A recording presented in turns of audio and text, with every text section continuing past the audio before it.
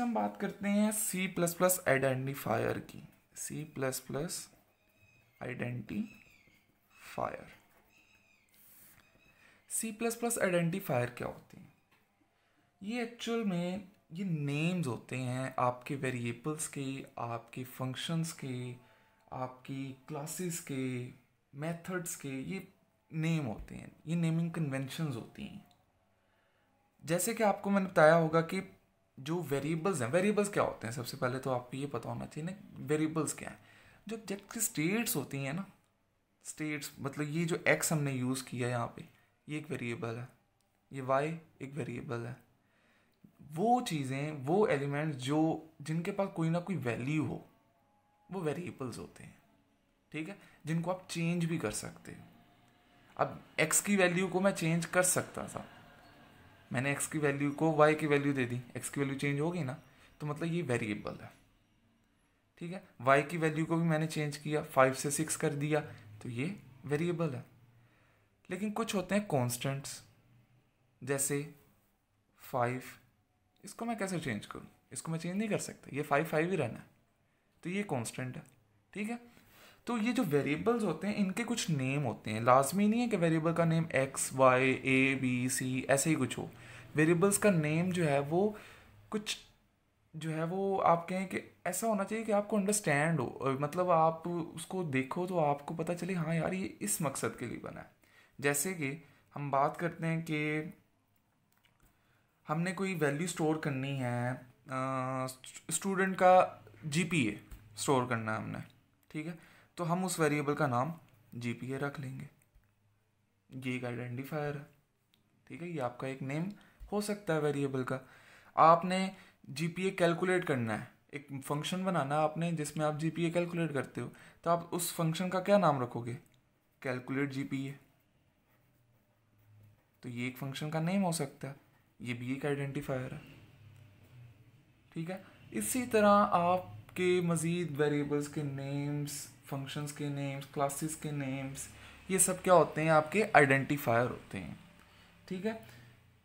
Identifiers uh, के ना कुछ रूल्स होते हैं सी प्लस प्लस में। कि मतलब वो कहता है कि यार आप जो नाम आपने रखने हैं ना वेरिएबल या मेथड्स के वो ना इस रूल्स के मुताबिक होने चाहिए। अगर आप ऐसे ही इन रूल्स के खिलाफ नाम कोई रखना शुरू कर दो तो वो हम वो नहीं करेंगे। अब वो रूल्स क्या हैं?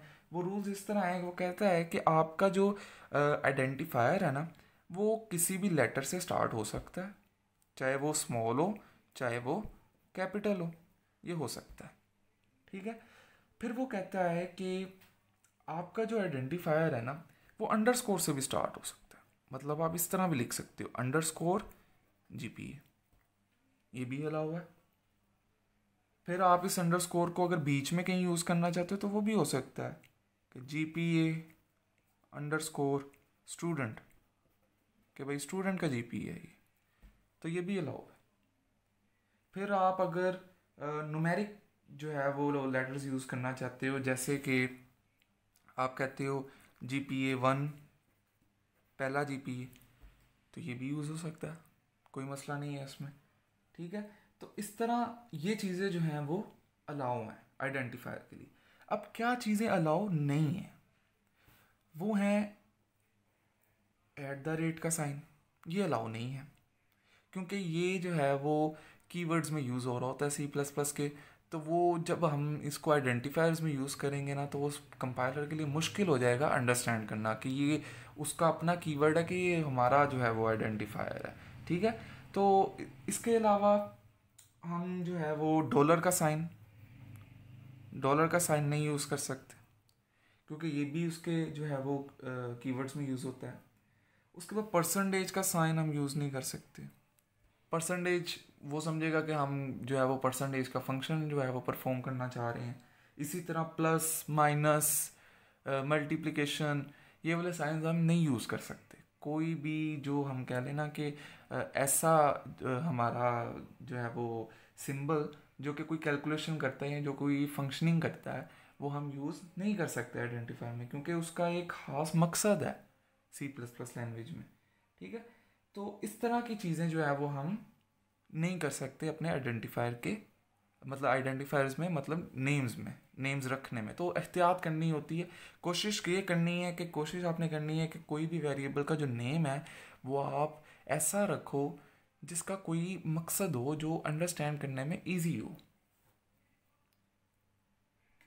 अगर आपको हमारी वीडियो पसंद आई है तो सब्सक्राइब करें।